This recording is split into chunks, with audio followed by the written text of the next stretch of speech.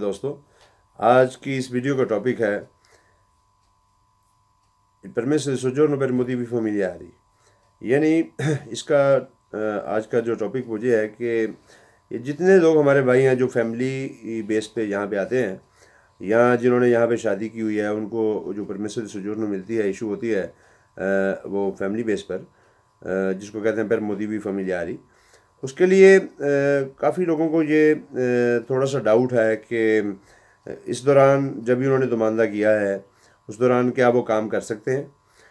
ان کے پاس رچی بوتا ہے۔ دیکھیں، چاہے وہ پاکستان سے یہاں آئے ہو اور چاہے وہ اٹلی میں موجود رہ کر ہی شادی انہوں نے کی ہو اور ان کے پاس وہ رچی بوتا ہو، تو وہ اس پہ ان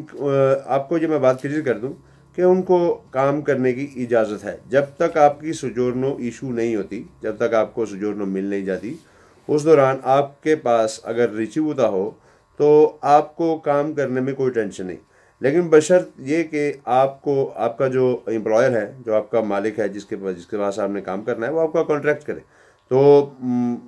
اس کا کوئی میٹر نہیں کہ آپ یہ سوچیں، یار، پتہ نہیں کیا بنے گا، کیا ہوگا، یہ، ہم لوگ جب تک سجورنو نہیں مل جاتی۔ دیکھیں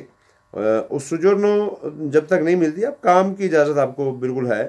اور یہی طریقہ کار ہے ان کے لیے بھی، جن کے پاس جو لوگ، جن کے پاس آلریڈی